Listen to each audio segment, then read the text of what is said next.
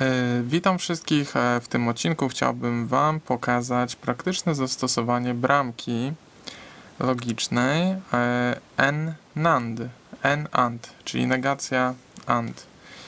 e, n AND. I tak ona wygląda. Składa się z 14 pinów, ten bynajmniej model. I to jest model 74HC00 QAT, czyli znajdują się w nim cztery bramki wykonujące funkcję logiczną n AND, czyli negacja AND.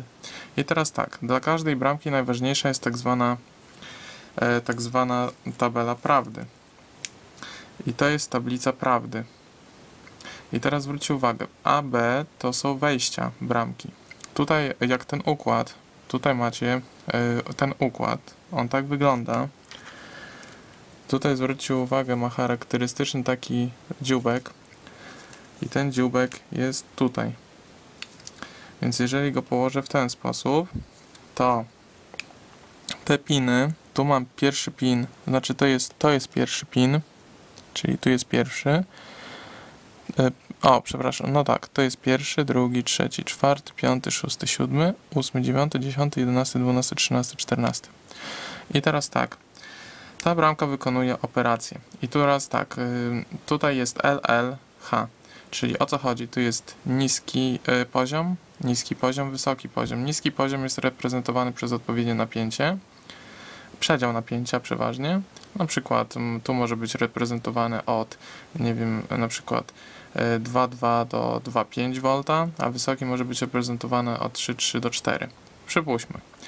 Natomiast y, tutaj zwróćcie uwagę są zera jedynki, czyli te zera jedynki mają reprezentację. Ym, i- e, Zero jest w tym wypadku L, a jedynka jest tym H.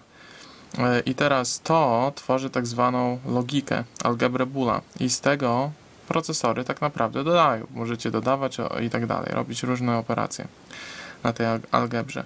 I teraz tak, y, jeżeli na wejściu, tutaj mamy tak, ta, e, tu mam cztery bramki, jedna, druga, trzecia, czwarta. I teraz tak, na pierwszy pin tutaj mam pierwszą bramkę. I teraz jeżeli na tym wejściu i na tym wejściu będzie, będzie grant podłączony, czyli masa, czyli L, no to na wejściu powinna się zapalić dioda, będzie H. E, Pamiętajcie, że to jest N AND. Tu mam takie kółeczko. I wyjście, czyli tu podłączymy diodę rezystor i dioda do, do masy. I teraz tak, mm, a tutaj będziemy eksperymentowali, czyli na początku podłączymy LL, czyli masę do tych dwóch wejść i zobaczymy co będzie na wyjściu. Potem podłączymy na jedne y, masę, na drugie, e, na drugie podłączymy zasilania. E, Tutaj podłączymy zasilanie i masę, a na końcu podłączymy mm, podłączymy y, zasilanie, zasilanie, do linii zasilania. No dobra, sprawdźmy, co będzie się działo. Więc tak, tutaj mamy, mam płytkę stykową, wkładam układ i teraz tak, zasilanie biorę 5V z płytki Arduino, wy sobie możecie wziąć z, z, czego tam chcecie. I teraz sprawdźcie dokładnie w datasheetie, e, ile, jakie macie napięcie. Więc tak, jeżeli chodzi o pin, to zwróćcie uwagę, że tutaj że tutaj ten pin, czyli to jest ten, to jest zasilanie, czyli on będzie podłączony tutaj. A natomiast Grand GND to jest masa, to będzie podłączone do niebieskiego. Więc podłączamy. Masa i zasilanie bramki.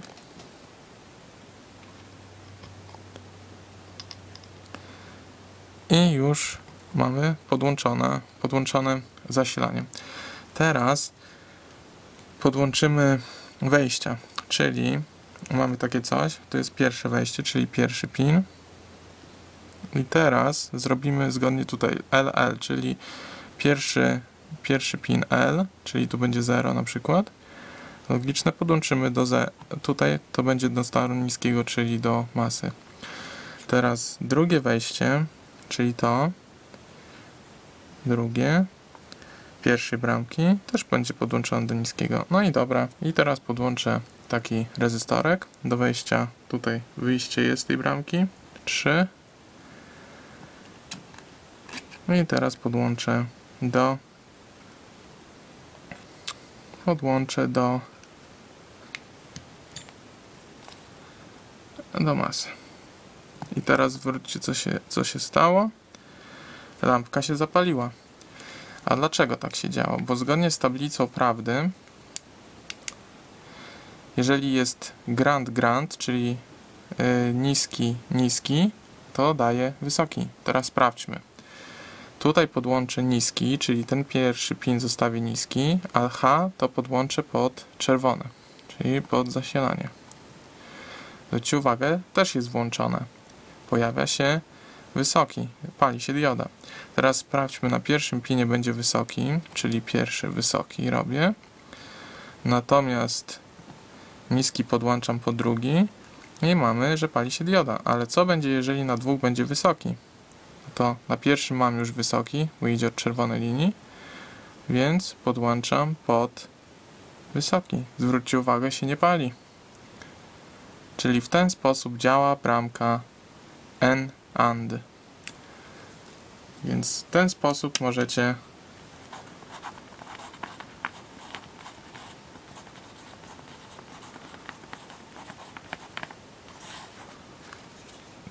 przetestować,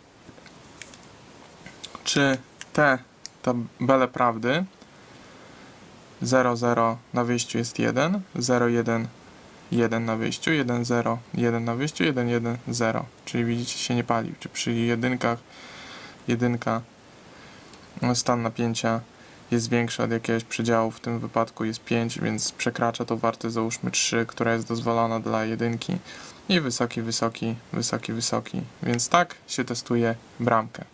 N AND w tym przypadku. Następnym wideo pokażę oczywiście inną bramkę. Więc to wszystko, do usłyszenia i miłej nauki. Hej!